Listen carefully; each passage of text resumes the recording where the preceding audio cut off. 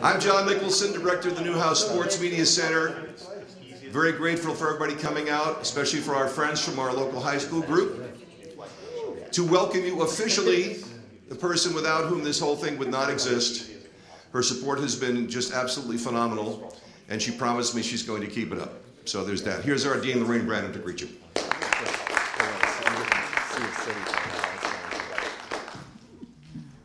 Is what happens when you follow a tall person. Thank you, John. Welcome, everyone. It, it is such a pleasure to have all of you here in our audience today and that you were willing to brave the vagaries of weather in upstate New York to make the trip to see us. And so we thank you very much, and I know our students are very appreciative as well. Um, this is a, a very important event for us.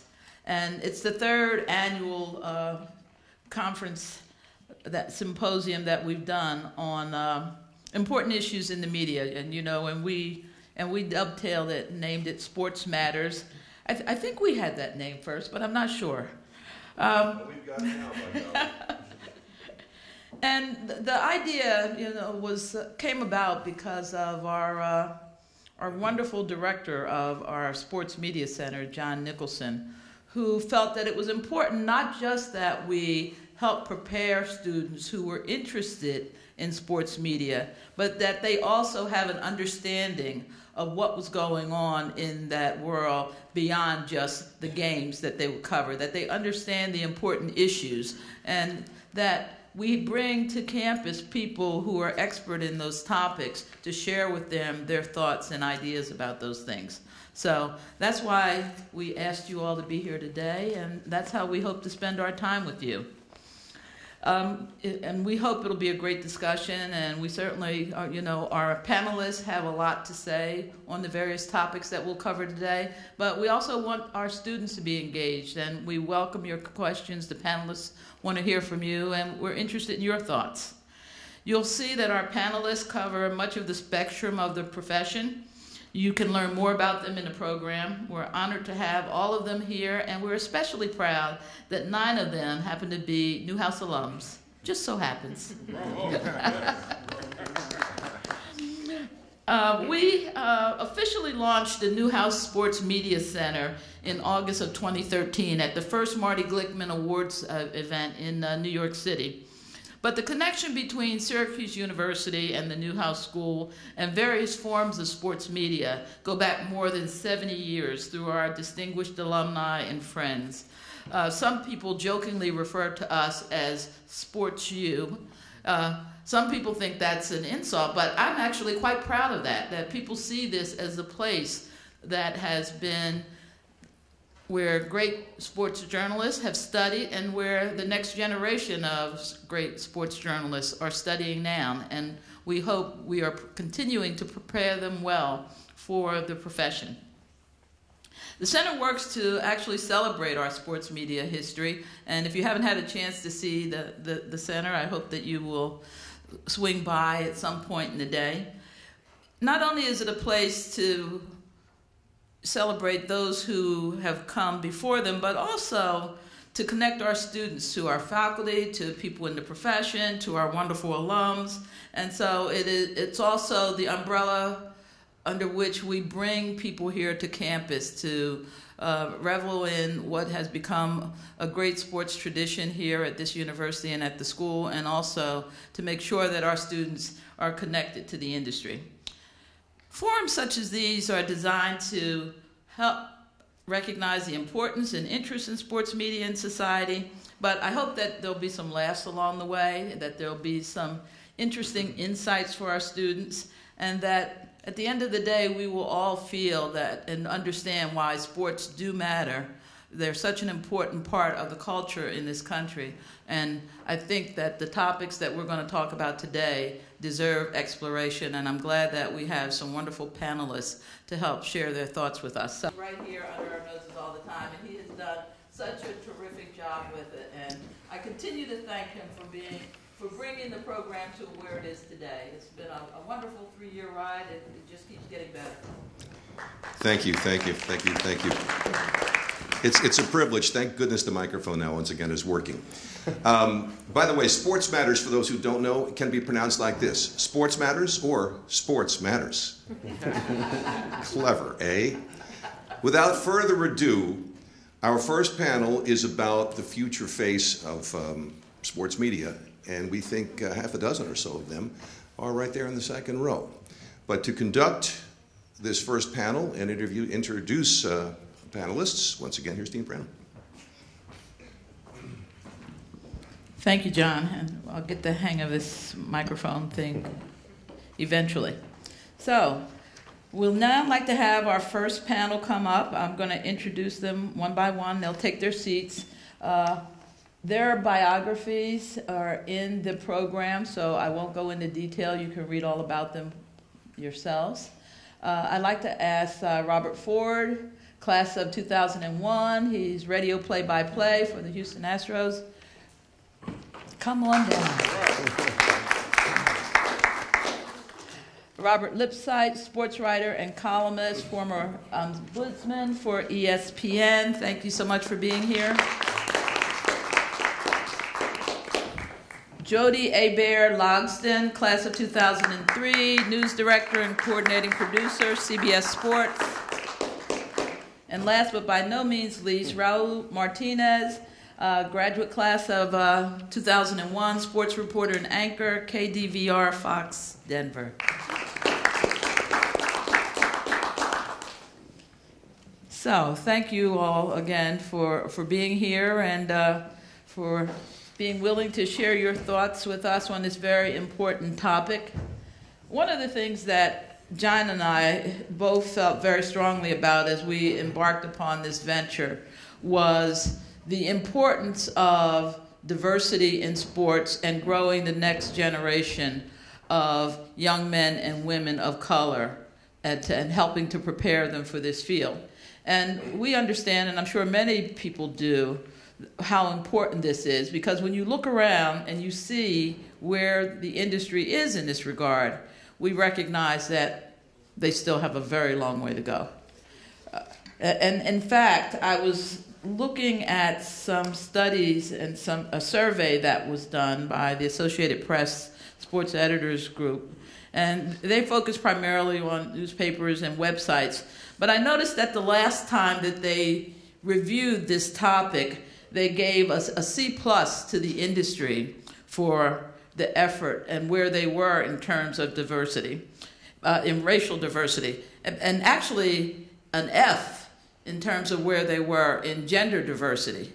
And so, as sports becomes even more and more popular, as there's more and more sports outlets and more and more interest in sports, I worry about whether or not the industry is doing as much as it needs to do to ensure that the people who are covering sports and the people who are involved in uh, marketing and promoting sports, the people who are directing and promoting sports programs look like the people who are out there on the field and or on, on the basketball court. And this is especially the case in in some sports, such as football, where almost two thirds of the players are uh, African American, or baseball, where so many of the players are Latino, or basketball, where I think almost 75 or 80 percent of the players are um, African American. So there's a real disconnect between what the people who are playing the game look like and the people who are covering the game and producing the games look like. So, Bob, I thought I would. Do you prefer Bob or Robert? Robert. Okay, Robert. Thank you for asking. Yes. well, I have a bad habit of just shortening people's names, so I do like to ask. So I'm interested. You know, you you've been out there in for a little while now, and so you have some perspective on this. And I'm sure as you you look around, you've thought a lot about this. So where do you think, or what do you think? Our next steps need to be because it seems like we've done this. The, this effort has been sort of in dribbles and drabs. How do we really make a real difference and a significant change and especially when you look at you know where the demographics of this country is going I mean, increasingly, we are a country that's going to be increasingly people of color. So, how do we get more of those folks into the profession?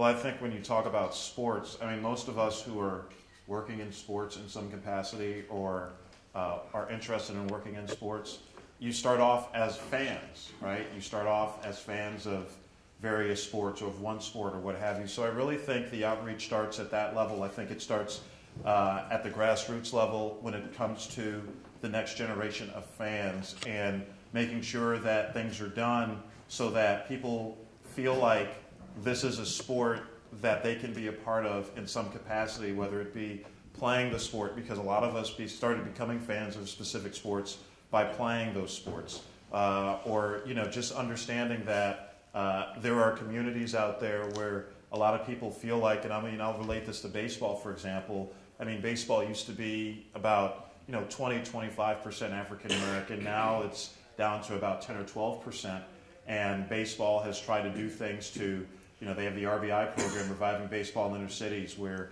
they put uh, baseball academies in um, urban areas. The Astros actually have their own urban youth academy in Houston. Uh, and I think that's where you really create the next generation of sports fans. That's where you get you start with the next generation of people who are interested in working in sports. But I think it really starts with getting youth involved and letting them know, regardless of their background, regardless of their gender, that you know, there's a place for them in this game, uh, whether it be baseball, basketball, football, hockey, whatever it is. Um, so I really think it starts at that level. Thank you. Bob or Robert? Well, I don't want to be mixed up with Bob. then, then, I will call you Bob. Bob, I think a lot of people have uh, given ESPN, uh, your former employer, a lot of credit for their efforts to um, bring in more diversity into the folks who are covering the game. And as an ombudsman and sort of the person who is responsible for, you know, keeping the organization uh, true to its cause and responding to readers and, and viewers' concerns and yeah. complaints. Did, in your position then, did was the issue from fans and readers and viewers? Did that ever come up? Uh, and how no, did you know? Not really. Okay. I, I think that um, for starters, I, I, would add to the uh, title of this program, "Sports Matters." But there's something the matter with sports. I like that. and, and I think a lot of what we're talking about has to do with that. Um, ESPN. What is the matter with sports? Hmm? Tell us what's the matter with sports. Well, I think that uh, the ESPN version is a, is a good start. Uh, I think that they have done more in terms of uh, cosmetic diversity uh, than a lot of other places.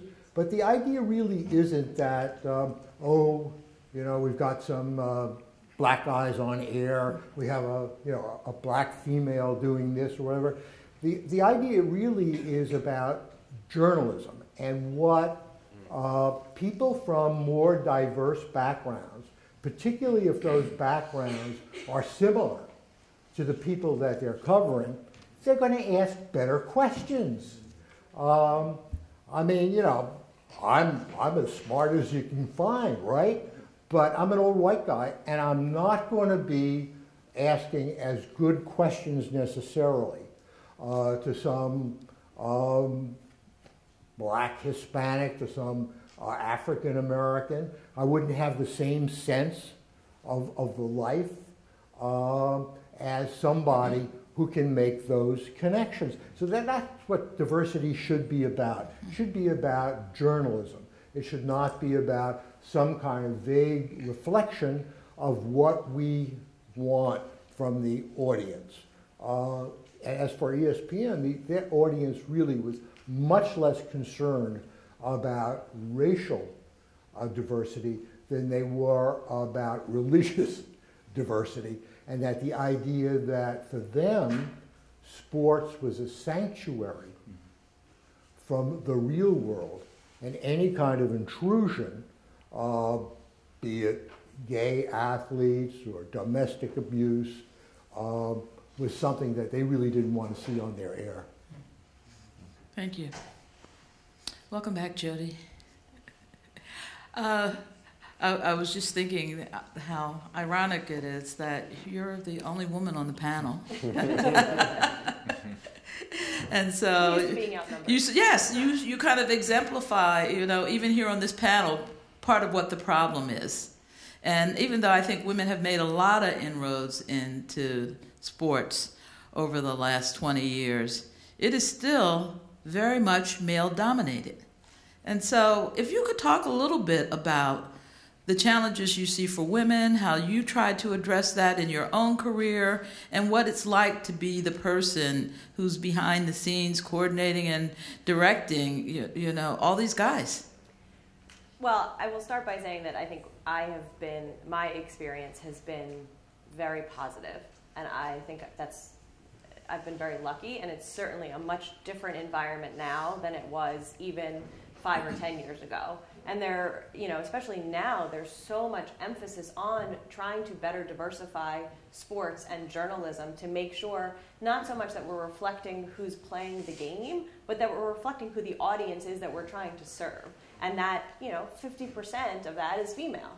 And so sort of to Bob's point about asking the questions that the fans want to know, taking story, telling stories from different perspectives, from different um, angles, that helps to have whether it's female diversity, gender diversity, racial and ethnic diversity. That makes the difference.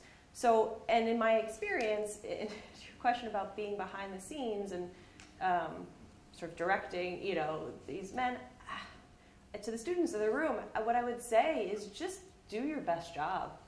Just don't, you know, as long as you believe that you're supposed to be there and that you know what you're doing and that you're capable and you're strong enough, don't let them tell you you're not.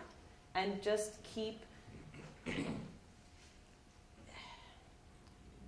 sort of keep your confidence and keep that keep the attention on the work that you're doing and that for me has always really cut through is that yes it may still be that i you know that for some women you have to work twice as hard that maybe the you know in those sort of initial introductions or initial steps you you have to prove it a little bit more rather than coming in with the understanding or the automatic grant that you know what you're doing um, there is a little bit more of that's where that curve is. But once you start showing it, and especially I think in the environment we're in now, where there is an emphasis on it, there is an understanding of we need to get more women, we need to make sure we're getting diverse contributions to journalism and to the sports that we cover, that carries a lot of weight.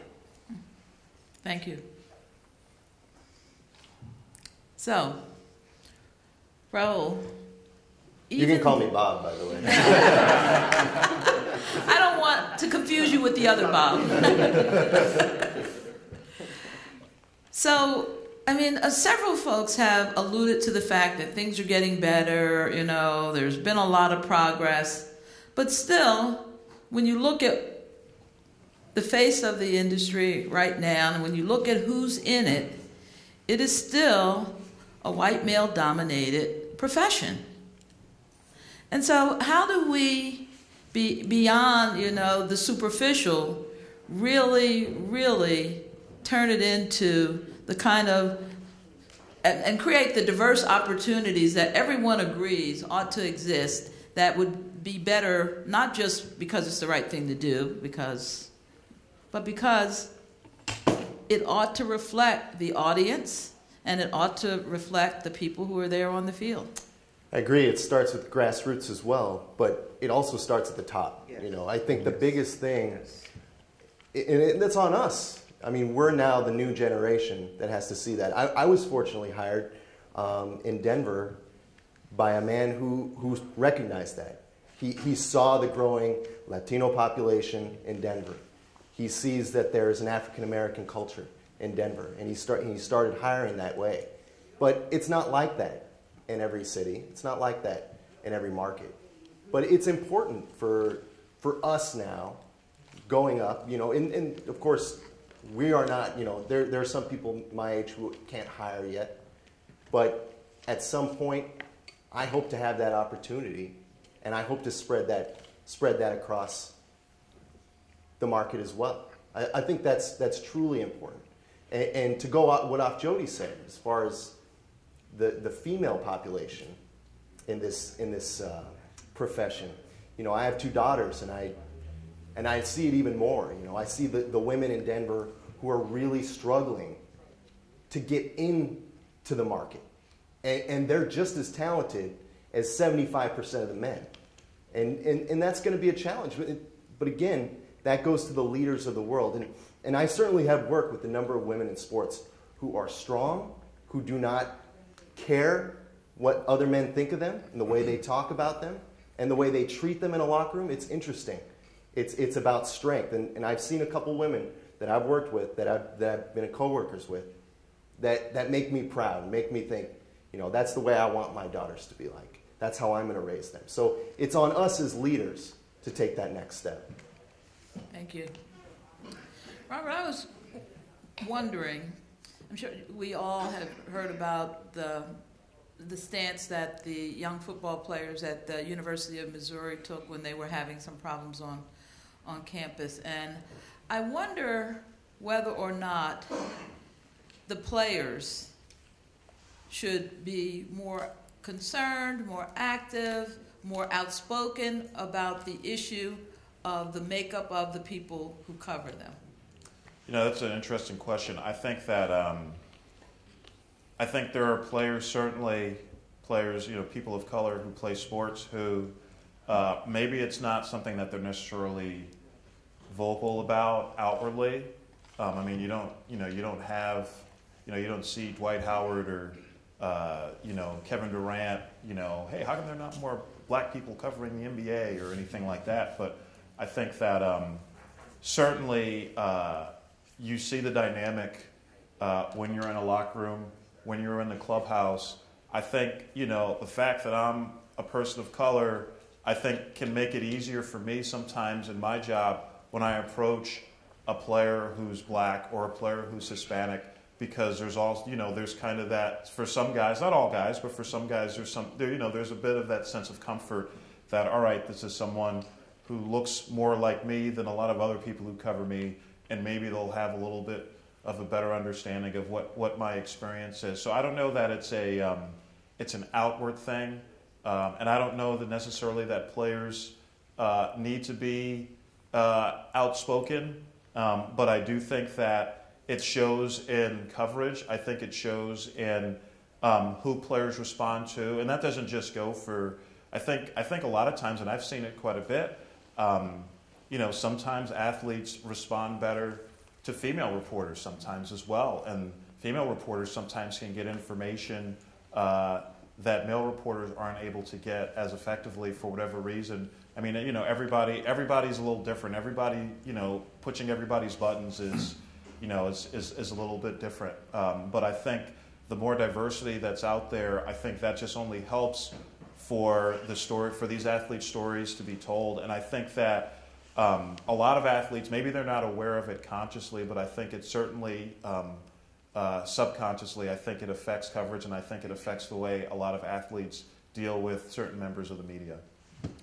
You know, if we think of sports coverage as an aspect of journalism and not just, you know, an extension of the entertainment industry or Hollywood, uh, but if we really think it's journalism, the idea of letting subjects, you know, decide who covers them, um, you know, I, I, is kind of scary. Certainly to me. I mean, do we want the presidential candidates to decide who are going to be uh, their interrogators? They try. Some of them Yes, they try. and, and now we're going to let you know, let the coach say, "I don't, I don't want Robert in there or Raul. He'll ask a tough question." Um, and I, I, think the whole Missouri thing really requires some interesting study. Um, so, uh, a $4 million coach has some power to get rid of a $400,000 university president.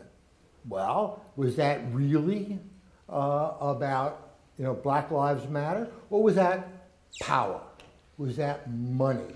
Uh, so I, I, think that there are some things that we might want to really think about there uh, before we let anybody decide. Plus the fact that the end of sports journalism uh, may have uh, come with a publication called the Players Tribune, which is a PR, an online PR magazine, um, which looks like it's being written from the heart by players, very good journalists actually, who've been fired from other places, who are behind that uh, and writing these stories.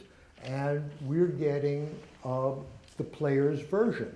More and more teams and leagues uh, have online extensions of their public relations department. I think the idea really is, is strengthening journalism and making sure that sports journalism uh, has standards as high as any other aspect of it.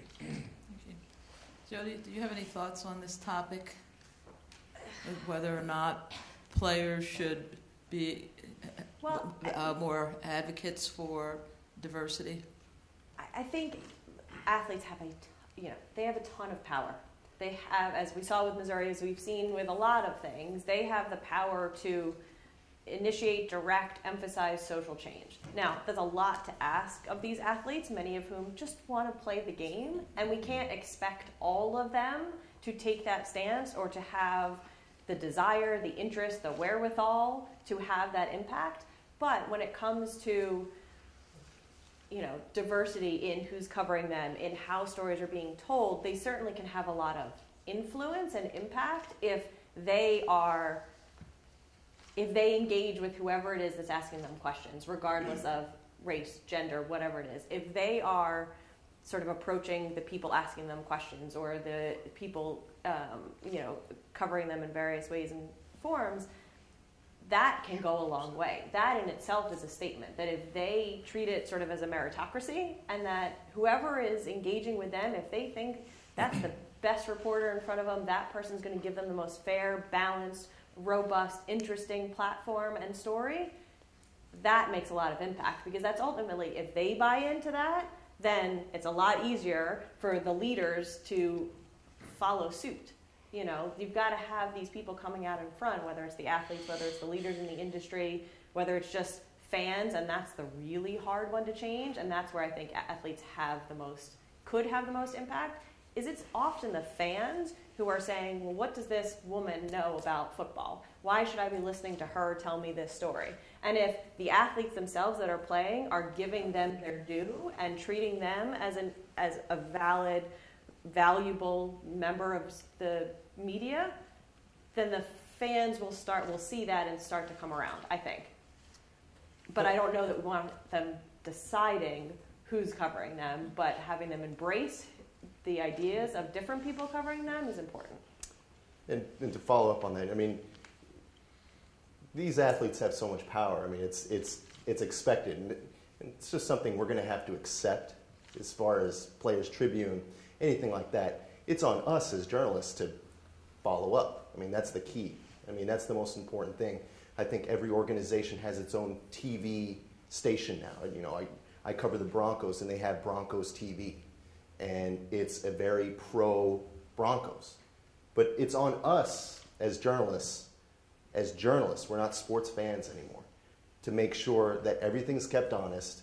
You know, influencing one way is one thing, but it's our job to keep it neutral. And I think that's, you know, Bob, you made the comment about that the Players Tribune and things like this could be the end of sports journalism. I disagree. I, I think it's really, it's what Raul's saying. Press releases were not the end of journalism, we're not the end of sports journalism, and that's very much what they are.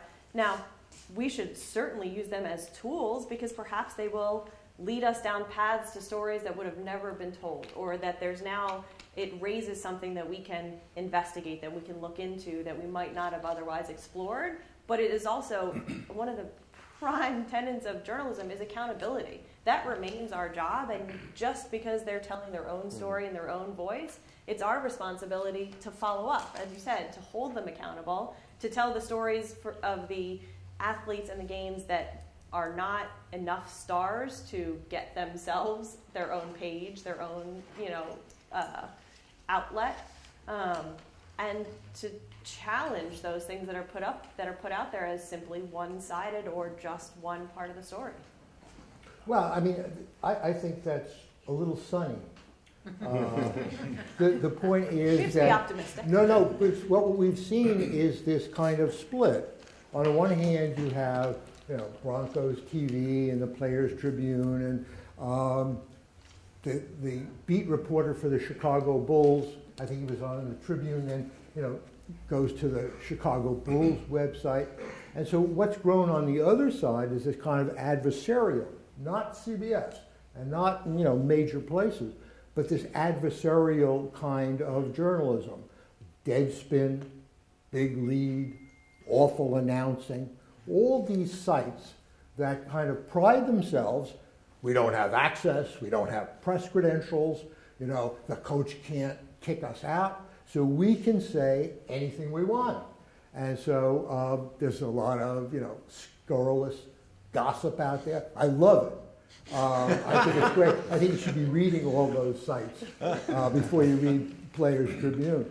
Um, and I, I think that, you know, I'm not, I don't know how good that really is, this kind of split between this kind of adversarial journalism, which is kind of the stereotypical, you know, the, the dweeb in his mother's basement making up stuff, which is not quite right anymore. Uh, it's much more sophisticated than that. Uh, you know, and these great big PR machines. Um, and I think it's also very hard, with all due respects, I think it's really very hard uh, to go up against some sort of reigning superstar or some big organization. Uh, if you want to deal with them for rights, for their programs, if you want access, um, you know, you just kind of see it. I mean, I, I better stop and get back to Robert. But, but I, I'd like your point on it. I mean, the last big thing that really hit me was, um, you know, a great passionate player who I really like, Cam Newton, um, had a lousy Super Bowl and he sulked. You know, like he didn't talk to the reporters. Oh my God, he didn't talk to the reporters after the Super Bowl, and everybody jumped on him. And meanwhile, Peyton Manning, you know, uh, 20 years away from you know molesting trainers at Tennessee, you know, gets a total pass. So who's going to go up against, you know, uh, the powers here? Um, it's uh, in the same way that both Michael Jordan and LeBron James, you know, kind of, kind of got passes in their time. Uh, uh, Michael, of course, stood for nothing except, you know, pimping sneakers. What do you say? Republicans buy sneakers too? Right. I think he did. That was a powerful line. Of, of And course, that just shows that super LeBron, no matter him. What color they are, can be jerks. And LeBron, LeBron, bless him, uh, you know, kind of kicks out. Robert. Um, I did want to add too about the, you know you talk about things like Players Tribune, Deadspin, all that. I think um, the challenge uh, for every generation of journalists, and I think it's even more so because you know anybody can. I mean, if you have, if you tweet, if you're on Instagram, if you you know blog, anybody can do those things, and anybody technically can uh, write about sports and have opinions about sports and put them out there and get a following. I think the challenge is when you're getting into this business, and you, it may not be something you figure out right away, but I think the challenge is what do you do well? What is your niche? And it has to be beyond just, um, you know, there was a time when if you covered a team, you know, if you were a sports anchor, every night you just play the highlights and talk about the highlights from the games in your market. And I mean, that was all you needed to do. If you're a beat writer, you just write about what happened in the game, and that was all you needed to do. But now, you know, there needs to be a little bit more nuance because the industry has changed so much, and you no longer have to watch the 11 o'clock news to find out the scores of the games of your favorite teams. You no longer have to wait until the paper, you get the newspaper the next day um, to find out the scores of the West Coast games. If your team was playing on the West Coast at 10 o'clock Eastern, you know, you had to wait until the paper came the, that morning to find out uh, whether they won or lost. And boy, would I be pissed when the score wouldn't be in the paper because I didn't get the late enough edition. But you don't have to worry about that anymore. So I think the challenge becomes, you know, what is your niche? What can you do? What can you bring to the table that other people aren't bringing to the table? And I, this lesson really became clear to me when I worked, before I got to Houston, I worked in Kansas City for the Royals flagship station um, as a Royals reporter, and um, I hosted a post-game call-in show um, when the Royals were very bad. There was a time when the Royals were bad kids. Don't let anybody fool you. And it lasted like 30 years. For a long time. Yeah. Um, and I remember when I first got there, I had never hosted a sports talk show. I was basically hired, the program director at the station I had worked with before, and he knew I was a baseball guy, and they didn't really have any baseball guys on staff. Um, and they had just recently gotten the Royals contract. So he wanted a baseball guy on staff to do the post-game call-in show. Because um, if you're not a baseball guy and you're not really into baseball, doing 162 post-game call-in shows for a team that's bad is really hard. Um, it's hard even if you are a baseball guy. But uh, but anyway, I remember early on, you know, it took me a little while to kind of figure out kind of how how I could do this. And I remember kind of the eureka moment for me came was early in the season, the Royals had a player, they had a, left fielder, his name was David DeJesus. He still plays in the major leagues. And uh, he was a decent player, but he wasn't a great player. Um, and he wasn't the sort of player you want in left field because generally you want, in left field, you want a player who produces runs, someone who hits home runs, someone who drives in a lot of runs, or maybe someone who can get on base a lot and, and, and score runs that way. Um, and, our, and, but he was one of the better players on a very bad Royals team. And so fans would call in all the time talking about how great he was and all that. And I remember I said on my show one night, I said, um, David DeJesus on a contending team is a fourth outfielder. And people skewered me over that. People were calling in, like, what are you talking about? You don't know what you're talking about. And so I basically backed it up with the facts. I'm like, look at the contending teams and tell me if any of the contending teams have someone playing left field that's comparable to David DeJesus. And if they do, they're probably looking to upgrade or have somebody else at another position who gives them the sort of numbers that you want out of a, a left fielder. And that was really kind of a eureka moment for me because I realized, you know, I had worked in the minor leagues as a broadcaster for seven years and gotten to know a lot of baseball scouts and talked a lot of baseball with these guys. And they really helped inform my opinion of the game and inform how baseball people think about the game and think about players. Because I know, you know, without asking any baseball people, I knew that's the opinion in baseball of David DeJesus. And so I kind of realized this is what I can bring to the table. I can bring to the table this insight from kind of what baseball scouts think of people, what baseball executives think of people. And then the longer I was there, I built more relationships with, you know, the general manager of the Royals, Dayton Moore, and, you know, the people that worked in his front office. And then I really got a good insight into, uh, you know, especially particularly how the Royals thought about certain players. Um, and those were things I was able to bring to the broadcast. So I think it's important to understand you have to kind of figure out what it is you do well and what, how you can use the access that you have in a way that maybe other people aren't. Thank you. Thank you all. I want to f- flip the question a little bit because I asked you about the players, and I'm wondering about your thoughts on owners. I think there's still only one majority black owner, and there are a couple other owners, but mostly the ownership of major league sports in the U.S. and Canada are white. And they've not done a great job of diversifying their coaching staffs or their front offices. And should they be concerned, care, or be advocates for diversifying the people who cover their teams? I have the pleasure now of working with Amy Trask, who was the CEO of the Raiders for 30 years. Um, and she, uh, you know, I think she's a great example, and she will be the first to say that the best thing that Al Davis did, and he, you know, was one, he was by that sense very progressive. He hired a woman as a CEO. He hired, you know, the first Hispanic head coach to go to the Super Bowl. He hired, um, you know, the first black general manager. Like he he, but he didn't do it for the superficial reasons, for just the um, for the sake of diversity to say, look what I did. She will say he did it because he hired the best person for the job, regardless of those characteristics. And I think that's what we need to look to the owners to do is for them to break the mold of saying we're only evaluating what makes you the most qualified for this job under these very specific, limited, somewhat now archaic criteria and look at really what's going to make your team better, what's going to make your organization stronger, what how has the business of sports changed and what now actually do you need those positions to fill? And that will, I hope, open the door for more owners to do exactly that and then that has impact. You know, the reaction to just um, you know, the Bills hiring a female coach and the intern that was with the Cardinals.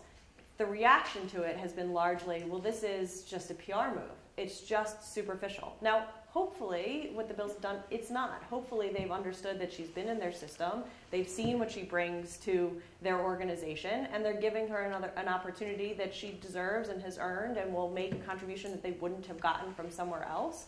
But they need to that needs to be proven out and there needs to be more of them that it's not a pr move just to get the attention and to distract from rex ryan and all of his crazy but to to really have look we're doing this because this is what we needed for this position and this is the person who's best qualified to do it Raul. Yeah, I think it's a major problem. I mean, there's all the teams I cover. It's white male, and it's and I think there's one African American executive I've covered, and he's now gone to Toronto. So I just and I just think it's a it's a massive problem. I don't know if this is going to change at some point in time. Maybe it's it's on us to speak about it. Maybe it's the fans to start uh, boycotting it. But I don't think I don't think the fans are going to do that. I mean, it's it's a business, it's a product. So. Um, I think I think it's a real issue. I think there's always going to be that problem. Maybe maybe as time goes on, as our country becomes more diversified and we start speaking out a little more. But especially in my region, especially where I come from, it is it is business as usual. It's going to stay that way for a while, and a lot of it's within the family, within the friendships, and and there's really no one calling them out because there's no checks and balances in that sense. You know, is it, there's the Rooney Rule in the NFL, but there's no Rooney Rule when it comes to upper brass ownership, top executives, and you know may, maybe it will change, but I'm not as optimistic on that level. Well, the Rooney Rule hasn't been that great for coaching. It hasn't. It really hasn't. Robert, y- your thoughts? Um, I think that uh, what really gets owners to change and what really gets sports to change is the bottom line. I mean, that's, that's really what it comes down to. And I think that. Um, Well, they're making a lot of money. they are making a lot of money, and I think that um, what what it comes down to when you talk about an owner sensitive to diversity, I think a lot of that comes down to the bottom line. I think the places where you see um, teams that have a front office front office that's a little more diverse, usually it's because you have ownership that recognizes the diversity of the community they're in. I mean, you know, being in Houston, you know, very large Latino community, and I think that our owners very aware of that, and I think that they try to do things to appeal to the Latino community because, again, it's about the bottom line. And I think that's really where you get things to change. Same thing with the black community in Houston as well. There's a sizable black community in Houston. So I think that that's what really gets specific owners to change is if they feel, you know, you, you know, the bottom line and understanding the whole concept of, you know, these are more people that we can get interested in our games. I mean, you know, people talk about how great the moment was, and it was a great moment when Jackie Robinson broke the color barrier, and how much courage it took for Branch Rickey, uh, you know, the president of the Brooklyn Dodgers at the time, to sign Jackie Robinson. But I don't think you can forget, you know, you can talk about Branch Rickey being a crusader, and I think that's all true, but Branch Rickey was also a businessman, and he also understood if I have uh, the first black player, I will draw a lot more black fans and draw more fans, and my team will get better as a result and will win more games if the game is integrated and we have more black players, and that will help us increase our bottom line as well. So I think, you know, really what it comes down to, you know, for changes to really happen, I think it's the bottom line that um, that really has to be affected for, for that to happen. And Bob, do you want Well, to add I mean, this? America has not really been too successful in pushing rich people to do, you know, progressive things in general. And, and uh, you know, why, why would sports be different? And, and Robert's point about Jackie Robinson is a, a terrific and important point because had uh, the Dodgers and the National League, had America been serious, they would have they wouldn't have brought up one guy, you know.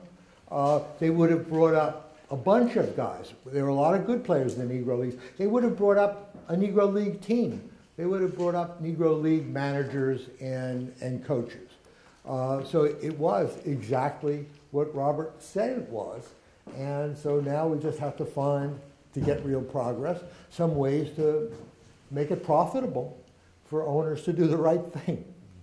Well, that's not, uh, to go back to sort of your initial question, it's not any different from what the industry of journalism and media and Mm. pretty much any business at this is facing this day in these days. It is for what's best for your business and what's best to make your, you know, to improve the bottom line and to make you most successful and to serve whoever your clients are, your users are, your stakeholders.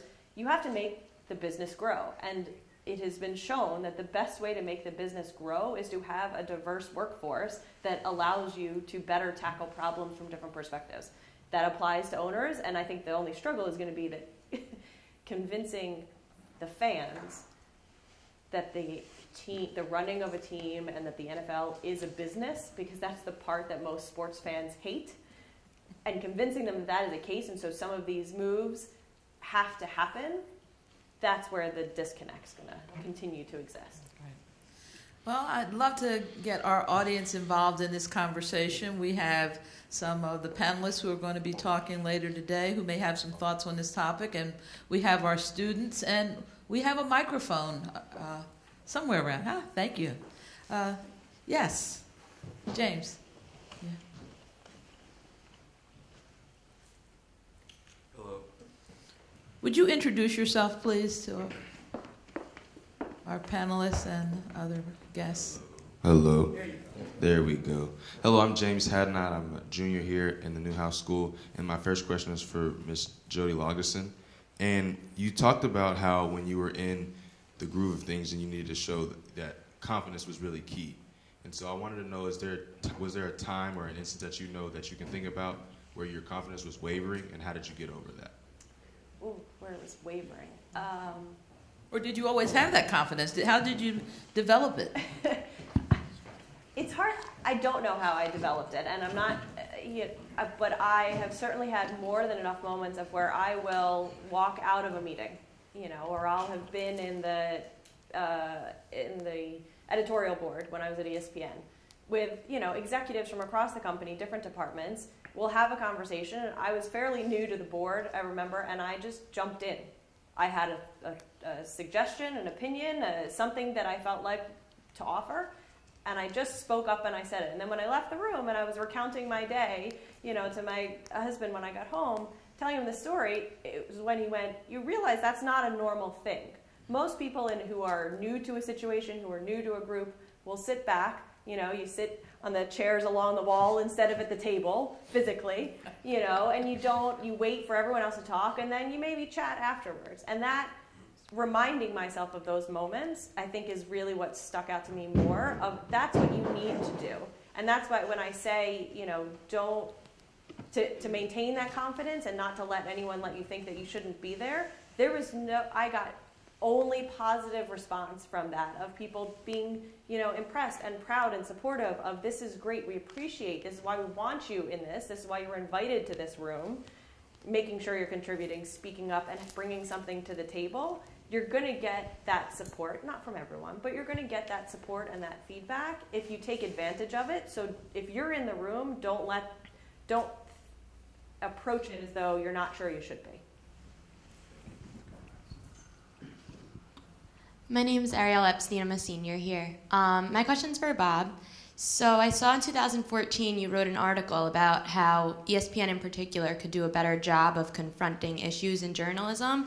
And now, two years later, I wonder um, what your thoughts are on how it might have improved, especially in regards to the concussion situation and Ray Rice. Well, there, there are several former ESPN uh, important people here today, and, and I'm sure they would join me uh, in saying I had no impact whatsoever. Uh, uh, I, I think that ESPN um, is, um, is, is one of the businesses that we've been talking about. Uh, certainly, bottom line, um, shareholder oriented, um, a very important part of Disney. Um, and I think that why, in many ways, you know, they tried very hard in terms of all kinds of diversity. Uh, and, and there were kind of wonderful pockets. And of course, in a, in a place that big, there was some incredible talents, both managerial uh, and on air and, and writers. Uh, but I think that they understood that uh, sports has a very particular place in this society. And part of that place is to act as this never, never land, this fantasy for people. Uh, as, as ombudsman, I would get something like a thousand emails a month, and um, you know, other than you know, would you fire Stephen A. Smith tomorrow? I I you email. Actually. You got a lot and I of those, tried. didn't I you? tried. I tried. I tried. I, and I was going to have you replace him. Um, but you know what they really wanted was they, they wanted the sanctity of their living room. They wanted to you know sit there, the whole family holding hands on the couch, you know, watching a game, you know, in this safe zone, and they didn't want to see you know gay men kissing, and they didn't want reports on domestic abuse. They didn't want anything uh, that you know kind of uh, jostled you know this thing. And I think yes, ESPN understands this. I think all of us understand this.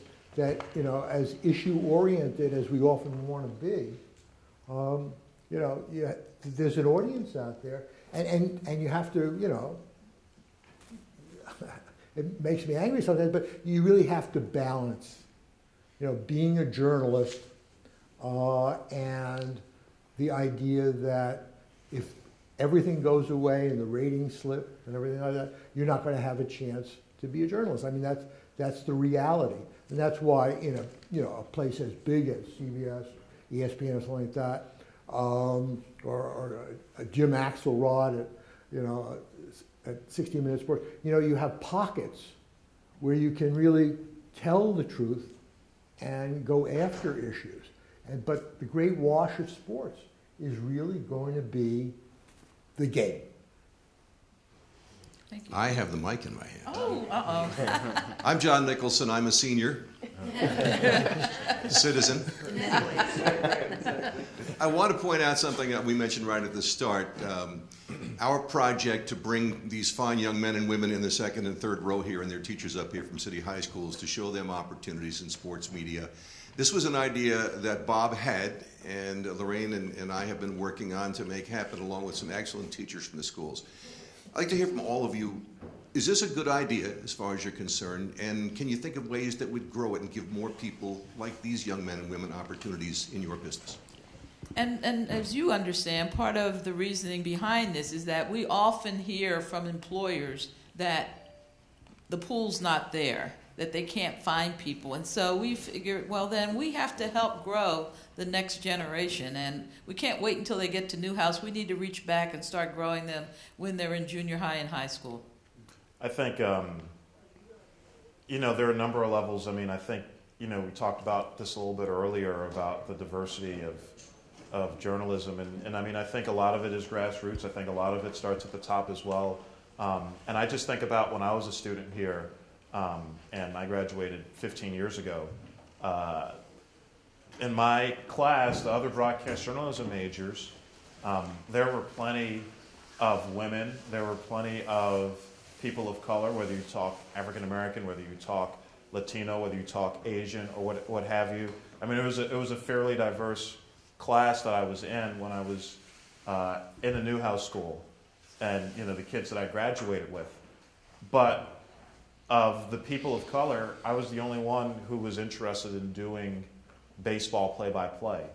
And I think that what happens a lot of times is people see images of people who look like them on TV, and if you're interested in being in sports, you think, well, somebody who looks like me does this job. So this is what I should look to do. I mean, I can't tell you how many women I've met who've been interested in sports, whether it's people I went to school with here or just people I've met since I've gotten out of school. How many young women I've met who tell me that what they want to do is be a sideline reporter. And there's nothing wrong with being a sideline reporter, but I think a disproportionate number of women feel like, well, that's the place for them in sports journalism because that's what they see on TV. When you see women in sports on a, in a sports broadcast, they're usually, you know, it's Erin Andrews, it's Bonnie Bernstein, although I don't even know if she does silent anymore, but you get the idea. It's people like that. That's who you see. And so I think a lot of young women get into sports journalism and think, well, I want to be a sideline reporter. Um, and I think it's important for the industry, whether it's people at the top, whether it's people like us who work in the industry, to let people know, hey, there are other opportunities in this industry for you, um, for women, for people of color, besides what you happen to see those people uh, who look a certain way doing. You can do other things. You can do play by play. You can be a sports anchor. You can be behind the scenes. Um, I think that's very important. Um, and I really think it starts with um, letting people know that you can aspire to be things other than, you know, if you're a woman, you don't have to be a silent reporter, for instance. You can do something else. Well, I also think that this type of thing is incredible. I mean, I, I did not have this opportunity growing up. And, you know, go, talking to universities, kids at other universities, and just talking to them about sports journalism in general, they have no clue. I think there's a real problem with other universities out there. You know, I think SU's really, Syracuse has really paved the way, paved the way. Uh, and this is just another step in the right direction for, for kids like you guys. I mean, it's, it's important. And it, it's nice to see it grow. I mean, I, I'd love to take this to my, my city and, and, and spread this knowledge just like, just like we're seeing it here. Well, you can. Uh, then I will. Then I will. Yeah, absolutely. And we will- and we'll help you. with University of Denver or something. Absolutely. Yeah. You, you got, there's so many universities out, especially, and you, you talk about, um, you know, black kids and having, having people to look up to. Uh, you know, I know I don't look Latino, but my name is Raul Martinez. Try growing up in El Paso, Texas with a name like this and looking like this. It's, it's unique. But it's, but it's, it's cool to see, because I, I worked in El Paso, Texas, and talking to the kids at UTEP there who wanted to be journalists, they had no one to look up to, you know, uh, especially on the Hispanic side of things. So, you know, that's it's it's great to see the growth now in that aspect. Long way to go, really long way to go. But you know, that's this is important in the sense of you know we got to have some more role models, and you know, I, I hope to be that be that type of person, be that type of advocate, and absolutely take it across the country and hopefully build it on this because this is incredible. I love what John did. I love what you guys did. It's unbelievable. Well, and I think beyond just the, the faces that you see to be the role, the role models, um, I, when I was here, I was a newspaper journalism major. I'm not clearly in newspapers, mm-hmm. I- and I think what's really great about you know starting at how you know in high school or younger, and is not just exposing the on air and the people that you can relate to, that you can see there are people like you that are doing it, but just the expanse of opportunities and jobs and different roles that are all under the umbrella of media, of sports media, of sports journalism that get you to be involved and to cover these games in any way, shape, and form. You know, I'm running a news desk for, you know, or the news operation for CBS Sports. Well, I'm not on the air, I'm not writing, I'm not, you know, writing headlines, but it's in, there's a, there's all these things behind the scenes that you don't know when you're watching the game that you don't mm-hmm. see and maybe exactly what you're passionate about exactly a great fit for you that you can contribute and have be a not to offend my colleagues up here but to have just as much impact on the quality of the programming and how you're covering the teams than the people that you see carrying it through to the audience Do you think, see CBS Sports doing, extending this, creating a program? I, I do. I- I don't really I do. to- I think they. Yeah. I mean, I think so. I mean, because, uh, not to put you on the spot, actually to put No, you we'll put spot. Laurie Orlando on the spot later. No, no, but the point, the point is that this idea, you know, was originally floated to ESPN, which would be the place Yes. to start doing. It. I They think were not. about half of the people at E ESPN Huh? came out of Newhouse, I think. Yeah, they, at they, least they, they were not at all interested. Where the energy really came from was, you know, Dean Branham, John Nicholson, very important, the high school teachers who are here today, uh, you know, who kind of went out of their way to make this thing happen. Individuals who, who cared about it. I mean, talk about grassroots. So it's not going to come from the rich owners. You know, um, maybe somebody should ask LeBron if he'd like to sponsor it you know, in one of his cities. Uh, but I think it's going to have to come from us.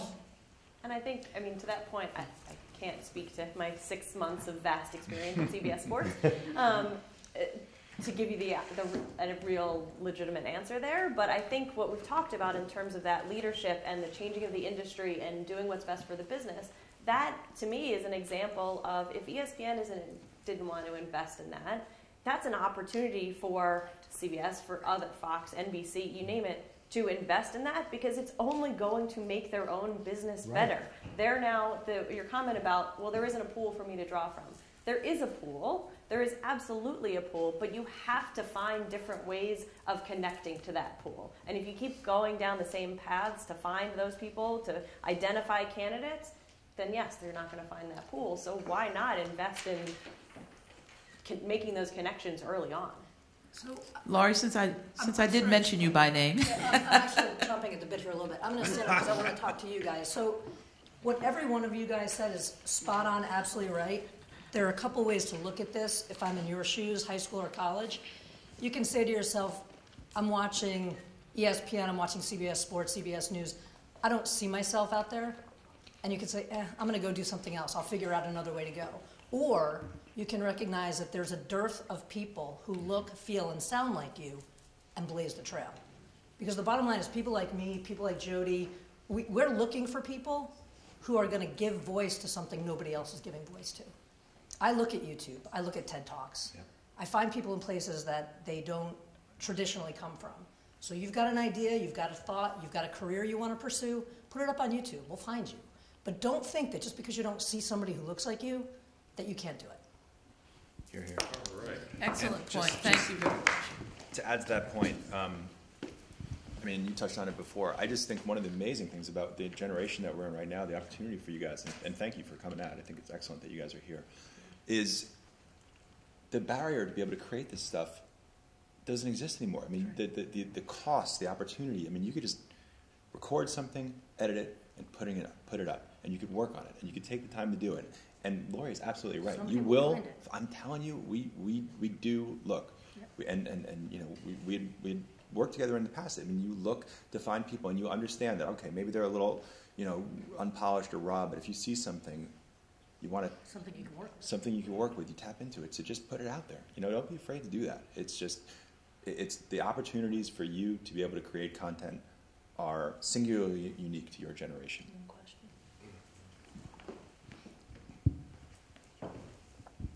I'm uh, Rick Wright, uh, Professor Emeritus here at the uh, Newhouse School. I like to say basically, Robert, outstanding. I can't believe these years are gone by when I had you in class here at the Newhouse School. Robert, for you, Chet Simmons. Just hold that name and I'll get right back to it. Chet Simmons. Jodi, Philadelphia booed Donovan McNabb, your hometown. Yeah. Raul, I worked at KELP Radio, Nice. 920 Yeah. El Paso, Texas, on the Rio Grande, Juarez. That's right. Okay. In the early 1980s, when we built the Carrier Dome here at Syracuse, uh, Dr. Joseph Julian and I put together a panel to talk about this very same concept idea that we're talking here in the year 2016. One of the, uh, two of the panelists that I invited uh, was Win Elliott of CBS Sports. Joe, do you know Win Elliott? Not personally. You got to know that name, though. History at CBS. and Mr. Chet Simmons. I went out to Hancock and I called Mr. Simmons up and I said, Mr. Simmons, uh, uh, Professor right here at Syracuse, where should I pick you up? Uh, what plane are you going to fly in on? He said, uh, pick me up over at the, uh, what do they call it, Exec Air? And I said, okay. So, uh, Dean, at that time, I had an old ragged car, you know, poor professor. I go out to Hancock Field, private jet drops out of the sky. and Mr. Chet Simmons gets off the plane. And at that time, I looked at him and I started apologizing. I said, Mr. Simmons, oh my God. I, he said, son, professor, let's ride. I got a network I'm trying to put together called ESPN, and I don't know what to do with it. What would you do with it? And I said, Mr. Simmons, there are many great sports stories that's got to be told. I said, I'm an African American brother. I can tell you about schools that I've never even seen on television that play great sports. Maybe that's the answer. But the thing I'm looking at was that moment, and also to the young people in the house, and Vera Jones, Sweet V from the top of the key. Great Syracuse Orange basketball star and a Newhouse alum. We talked about this years ago. Sweet heard this lecture 20 years ago, whatever. The point I'm saying is that I'm in the business now. The problem I'm having right now is really the upper level management owners how do we really get to them? In, we need to, they, they're part of the choir. We need to get them in the church to talk to them. I, I look at um, some, look at the Dallas Cowboys. Uh, Robert, that's another team down the road from you. I'm familiar with them. They got all the money in the world, big stadium, everything. And Mr. Jones, I would love to have him in a room. How many coaches there going? I'll try to get him, Rick. Huh? You, you'll get him. I think I think there are a lot of people who like to have Jerry Jones in a room. yes, but what I'm indicating, our and I'm just still trying to figure this out as an old guy who's in his early 70s now, is how do we get to the hearts and the minds of this old boy network? And uh, and the bottom line is there, uh, right now from a content standpoint. And Robert, I love your stuff. It's credible. We got so many stories that can be told, and I would say, especially to the young African American and Latino students who are in the room, including my son who's here. we got some great stories to tell that have never been told. I can't wait to see the movie Race that's getting ready to hit the screens right now, the story of Jesse Owens. We got a lot of great stories to tell. And they are stories that will enhance the bottom line. Writing, storytelling is what this thing is all about. And it is a fascinating industry. But again, uh, we got some folk running our industry who really don't know anything about the industry that they own. And that's a problem I'm having with today. But uh, thank you, Doctor. I'm enjoying this. We, but uh, never forget Mr. Simmons that day getting off that private jet. Y'all talking about ESPN. This before it became what it is today. And I said, hey, that's what you should do. Put some of our folk on there, Mr. Simmons. It didn't happen, though. You know, Dr. Wright, I hope one day you get over your shyness.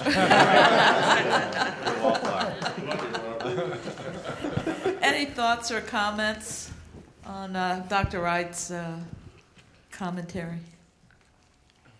I mean, you mentioned Jerry Jones, and I think, it, you know, it, it goes back to what we said earlier. It's hitting him in the bottom line, and it's making that have an impact. And look, you guys can speak to the communities of Texas more than I can, but we saw it this season, and you know, maybe we can hope that there's a sign of change coming to pass. But when they brought in Greg Hardy with all of his baggage and all that and how they handled that, got a lot of criticism.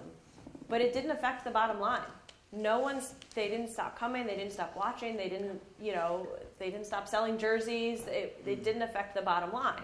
Now, they're not bringing him back because he affected the bottom line because he didn't deliver, and maybe now he'll finally be out of the league and maybe that's where you start to have an impact. But until Jerry Jones is held accountable for his own behavior, for how he runs his business, for the example that he sets with the players he brings in, the coaches he hires and fires, and how he handles that, until we affect his bottom line, and that really starts with it's not it's making sure that we're covering those stories to raise those issues and to draw attention to those challenges so that the fans can make their own decisions then of how and whether to act on it but if it's not the bottom line, it's, Jerry Jones is a prime example. If he's still making money, why worry about it? And I, I think that it goes off of you know what Bob was saying. You know, you, you have to be careful because you know there's certain ways to cover a team, and you don't want to lose that coverage opportunity. But again, that falls on us. We, we, there has to be a point where you have to find either you have to go one side or the other. And you know, certainly I see it with certain type of journalists who, who are more considered a fan, and you have to separate yourself from that. And you have to either take, you have to cross that line, and you have to be willing to step across and, and hit a guy like Jerry Jones, and not hit him, I'm punching. there are times, but you know, there are times you have to bring up important issues, mm-hmm.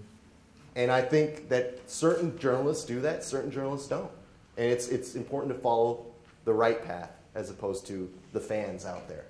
And it's not, as we said earlier, it's not easy. No. And it's, but it is that balance. Right. Is you have to do, you know, seventy-five percent of it is this, is the, Mm-hmm. you know, covering the game, you know, not making those challenges. You have to because that's what the fans are looking for. Is tell me about my team. Tell me about how we're playing. Tell me about what's going on. But when the situation calls for it, you have to just make that decision that this rises to that level where you're going to act on it. You're going to make sure that you're holding them accountable and you're, you know, calling them to to question for what's going on. And just you have to pick those moments. It can't be all of that either. If you're only railing against the wind, then you're not going to accomplish it either because then you're not going to have that access. You're not going to be able to cultivate the kind of sources and relationships and access that you need to get the information to tell those stories in the first place. And this is not easy. I was just one word: concussions. You know what happened to the doctors, to the reporters, to anybody uh, who uh, made the suggestion years ago that there might be a connection with getting your brain rattled and dementia uh, early.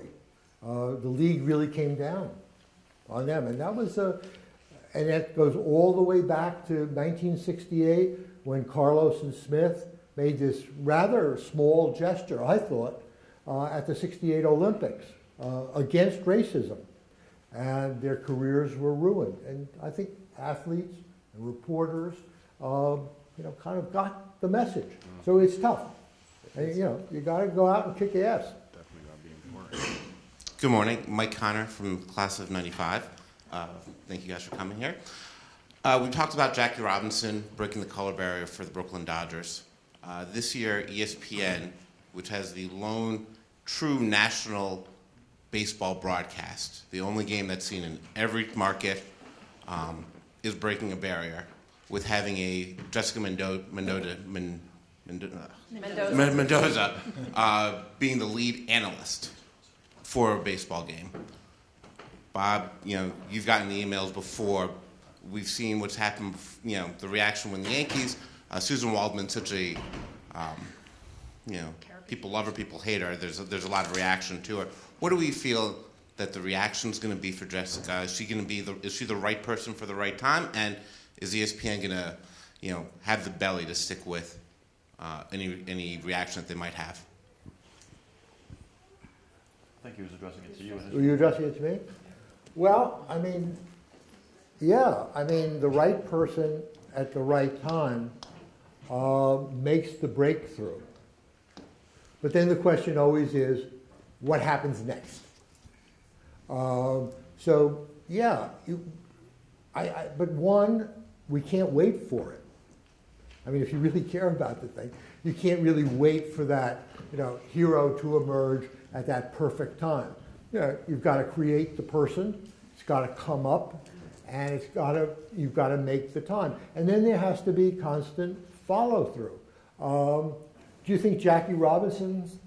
Uh, do you think that was an ultimate success? Seems like it. Yeah. Yeah. Oh, why? Well, I mean, you know. I mean, you, you made the point how I the, mean, in the terms twenty-five success of percent. The bottom line, or in terms of the success No, no, of in, in, in, in points of a kind of uh, one, changing, uh, the, I was going to say the complexion, changing uh, baseball, changing America. Absolutely, because I mean, I think, you know, for a long time it was thought that this was a whites only game, at least at the major league level. And now, you know, I mean, of course it took time for attitudes to change, but I mean, now, I mean, no one gives it a second thought where, where are players from, whether they're black, whether they're Latino, whether Yeah. they're from Asia. I mean, it doesn't, Right. you know, it's not an issue. So that worked, but the, the point is that there has to be that, that constant follow-up. And we're now talking how many years later about ownership, about managers and coaches, uh, about front office personnel, about journalists. So, you know, the struggle, the struggle goes on. So, yeah, there's that breakthrough, the right person in the right time, and, but that's only the starting point. That's not the victory. And I think it comes down to how that opportunity is handled. And let's not forget, Jessica Mendoza got the opportunity. She was doing studio shows. She was doing Baseball Tonight studio shows, but she got the opportunity to do play-by-play or to do to be an analyst, a game analyst full time because Curt Schilling screwed up. Curt Schilling sent out a tweet, a net, you know, a derogatory tweet about Muslims, um, and you know, basically comparing him to Nazi Germany, and wound up getting suspended for that. And that's how Jessica Mendoza initially got on Sunday Night Baseball. So who knows if Curt Schilling hadn't sent that tweet? Who knows if or when Jessica Mendoza ever would have gotten that opportunity? But I think the key is it's not just getting the opportunity, and this goes for anybody. It's not just getting the opportunity; it's what you do with it. If Jessica Mendoza, and I haven't, I haven't had a chance to watch any games that she's done yet, but so I don't really have an opinion on her personally. But if Jessica Mendoza is good and has good information and good insight and builds relationships in the game, she's going to stay there. She's not going anywhere. She's going to have a place in this game. And I think that's really key uh, when you talk about um, when you talk about women in sports or breaking barriers. It's not just getting the opportunity; it's what you do with it. And I think you know you mentioned Suzyn Waldman earlier, and Suzyn Waldman's one of my favorite people in baseball. I absolutely love Suzyn Waldman. I actually grew up listening to her when she used to be on WFAN as a reporter. And um, the thing about Suzyn, the reason Suzyn's been around so long is because Suzyn is one of the best people I've ever seen when it comes to building relationships, whether it be with players, whether it be with coaches, whether it be with managers, whether it be people with her own team, the Yankees, or whether it be people on other teams. I mean, she knows, I love talking to her about baseball because you can talk to her about more than just the Yankees. She can tell you inside dirt on players on other teams and what's going on with other teams because she has built that network and that's why she has stuck around um, and has covered baseball now for, for 30 years in, in various capacities. So I don't think it's enough just to get that opportunity. What are you going to do with that opportunity? You got to take it to the next step. So, Mike, um, I, I, was actually involved in the conversations to give Jess that opportunity. Um, Robert, you, you codified everything I was going to say Sorry. perfectly. No, no, no, all, all good. But I, I, I have one thing to add to it. There's another element you know, putting Jessica in the Sunday night booth was somewhat risky because she's a woman talking about a man's game, right, in theory. Um, even though she played softball at the highest level, was the best, arguably, ever to have played the game, and has the respect of just about every major league player when she walks on the field. To your point, her relationships are what solidified this opportunity for her if you go behind the scenes and you're there on a, on a Wednesday night or a Monday night when Jessica walks out onto the field and A Rod walks up to her and talks to her about the hitch in her sw- his swing, you, you kind of know she's, she's got something there. And she's credible with them. So if she can talk to the guys on the field and be credible with them, she's going to have some credibility with our audience. Part of the reason that she's still in that chair and the decision was made to leave her there, I was gone before that decision was finalized, but I can guarantee you was also because the feedback on her and the press response around her was spectacular. She did not get one bad piece of press when she filled in for Curt. And granted, it was a little bit of a soft entree because Curt had screwed up so badly that they wanted something that was going to be very positive, a story that was going to be very positive. But Jess got in there, took the opportunity, and slammed it home. She did have the issue though, like with Krukie in the booth with her. Right. He totally knows all. Well, but that goes to a point I was going to discuss in a couple of hours, which is, you know, somebody like Jessica, somebody like me, Vera, any woman who goes into a man's world, Jodi's experienced this too. You need women on your side, but more importantly, you need male advocates because they're the ones with all the power right now and traditionally. And so if you've got somebody like Krukie who's backing you up and who's willing to do softball games, you know, in the midst of the baseball season because Jessica's there, that speaks volumes too. So she'll be in that chair as long as she wants to be if she continues to work really hard, and I know she will, and she continues to get the great feedback from not only the players but the constituents who are watching. And you know, you bring up the point about John Kruk, um, who she worked with this past year. Uh, I did. Uh, I was at the baseball winter meetings uh, this year or in December, um, and I um, MC. They do a business of baseball workshop that's part of a job fair that they have uh, for people looking to work in baseball. And one of the things that they had at the workshop, they had a panel of women in baseball, um, and Jessica Mendoza was on that panel. And uh, one of the things she mentioned was um, John Kruk was the first person who ever suggested to her, hey, you do a good job doing softball. Why don't you do baseball? And she said it hadn't even occurred to her before that that um, you know this that even could be a possibility. And so then you you fast forward, you know, this past year she winds up replacing Curt Schilling in the booth, and she's working with John Kruk. Well, I mean, just think about how much comfort she already had knowing, hey, not only is this somebody who's very good at this and somebody I can learn from, but this is somebody I know who is going to support me and who even gave me this, this idea in the first place. Well, we are almost out of time, but I thought it might be good if we could get some quick words of advice from our panelists for the our, our students, the people who are looking to replace you in your jobs. what do they need to be doing to prepare? Well, if you want the Astros radio job, hopefully it won't be open for another 20 or 30 years. Um, no, I think, uh, you know, it kind of goes back to something I was saying before. Um, you know, when you get an opportunity, it's not just enough to just get that opportunity. You need to do something with that opportunity. Um, you need to take that next step. And I think, uh, you know, that, that's very important. You need to put yourself in a position to be a little lucky and to get some opportunities and to get some breaks, but it's not just enough to get those breaks. It's also about taking, taking to the next step and, and really um, taking advantage of the opportunities that you're given. Well, as, as we, we talked about before, um, and, and, you know, I've been replaced, so feel free. Um, uh, you know, number one, stop thinking like a fan and start thinking the way the rest of us think. You know, looking at that ball game, listening to that broadcast, reading that story, um, how you could do it better, uh, what you can learn, and you can learn. You can learn from people who aren't very good as much as you can learn from people who are very good. Just take that next step, and then um, you know work your butt off. Don't quit. As we were talking about before, most people quit. It's too hard. Everybody's going to a party. I'm here alone reading this, these notes. You know, what am I doing? Uh, and you, you, know, you may be right. I don't know. But uh, the point is that you know everybody on this panel and on the next two panels you're going to see, and even God help us, you know, the dean and the teachers, uh, they didn't quit. They kept coming.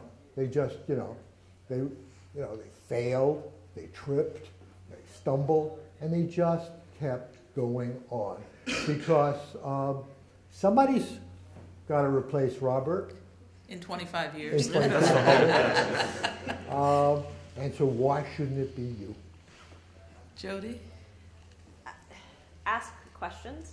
I mean, we're journalists. That's what we do for a living is ask questions. But it's all about it's at this point it's about learning and asking questions because you never know what relationship that will lead to that you will connect and have an advocate have a resource to go to have someone that can open a door for you not necessarily just even as a job or an internship but just a connection or just an area of interest that you hadn't explored before and you're opening this new opportunity. Um, you know and I, I shared earlier i grew up thinking i was going to write for news you know, cover sports, writing for newspapers. And then I came to Newhouse, and by the time I left, I really wanted to edit because I thought that side of things was really where my interest lied. And then I left and I did an internship, and all of a sudden I was at a website, and now I'm on the television side. So do not rule anything out. don't feel like you have to have already decided, and certainly don't rule anything out because you have we have no idea up here what our jobs will look like, what media will look like by the time you're sitting up here. You're going to change it. It's going to be something that we haven't seen, that we haven't identified, that you're going to come up with, that you're going to figure out. So certainly don't limit yourself to just what you see out there right now and how it's defined. Thank you. I started my career uh, 12 years ago and it was competitive then. It's a lot more competitive now, but my advice to you is don't be discouraged about that. I mean, the most important thing, and you're going to hear this grind, you got to grind, but we all stink when we first start. I mean, that's just the bottom line. But there's going to be somebody that gives you a chance if you have that potential. And when you get into this industry, when you, when you land your career, try to be as innovative as possible, stay ahead of the game, know everything you can possibly know. Don't be afraid to read newspapers. I I have a, a real hard time with people who just don't read the newspaper anymore. You can read They're- it online, though, that's fine. You can read it online. Yes. It's not a big deal. Read the news. Read the news, watch the news, and it doesn't have to just be sports. Expand yourself out there. And in 12 years ago when I started, Twitter didn't exist. Now Twitter exists, Facebook exists. We're just talking about Snapchat, trying to learn that. but that's important. I mean, especially if you want to bring the younger generation in and learn the older generation, going from newspapers to social media. If you're ahead of the game, it's extremely important. And don't forget about the web. The web is your best friend now because TV is starting to, I mean, it's already being merged with the web. So my, my advice is try to be as innovative as possible, stay ahead of the game, and never be discouraged about anything because Raul, I want you to teach me Snapchat. by the way. teach you my story soon. No worries. Thank you, panelists. A round of applause for our panelists. John?